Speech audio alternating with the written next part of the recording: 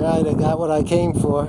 Came all the way up here to the research lake and got a nice 14 inch bass here to show for it.